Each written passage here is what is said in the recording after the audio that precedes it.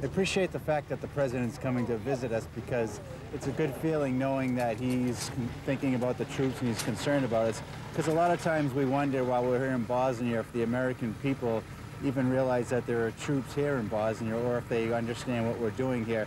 So it's nice that he can come and visit us and show us his support. It makes us feel good.